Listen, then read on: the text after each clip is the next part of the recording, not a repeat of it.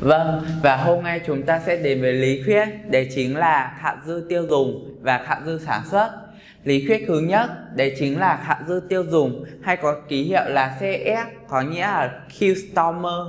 Còn S thì mình cũng không nhớ lý thuyết tên là gì. Q-Stormer ở đây có nghĩa là khách hàng, khách hàng chính là người tiêu dùng. Vì khách hàng là người tiêu dùng cho nên nhu cầu họ cần muốn mua hàng, nhu cầu khi nhắc đến từ nhu cầu, các bạn sẽ nhớ đến việc là ký hiệu đấy chính là hàm cầu. Vậy thì công thức của nó sẽ là CS bằng tích phân từ Q0 tới 0 của của hàm cầu trừ B0 nhân Q0 với B0 Q0 ở đây chính là giá cân bằng của thị trường.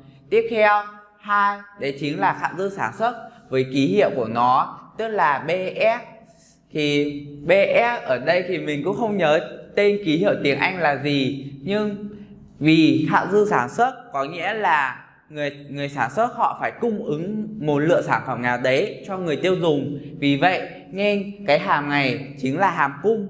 Hàm cung cung ở đây có nghĩa là cung cấp người tiêu người tiêu dùng. Thì chúng ta sẽ có công thức BS bằng B0 nhân Q0 trừ tích phân từ Q0 tới 0 của hàm cung thì để các bạn hiểu rõ lý thuyết hơn, chúng ta bước sang ví dụ 1 cho B bằng 42 trừ 5Q trừ Q bình, hãy tính hạng dư tiêu dùng với B bằng 6 thì bước làm của các bạn, đầu tiên, đấy chính là các bạn hãy viết từ B bằng 6 các bạn sẽ tìm ra Q chúng ta sẽ có 6 bằng 42 trừ 5Q trừ Q bình. Thì chúng ta sẽ khay, chúng ta sẽ nhập máy tính thì chúng ta sẽ giải ra được Q bằng 4 và Q bằng âm 9 mà Q là một sản lượng, thì sản lượng nó luôn phải lớn hơn không? Vậy Q bằng âm 9 sẽ loại.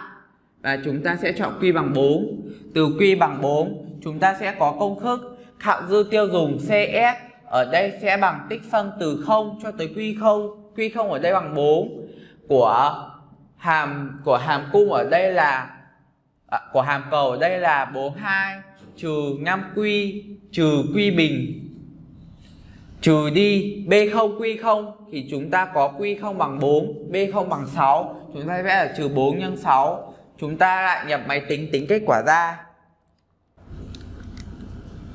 Sau khi nhập máy tính xong các bạn sẽ ra kết quả bằng 248 phần 3 và đấy chính là đáp án của ví dụ cần tìm.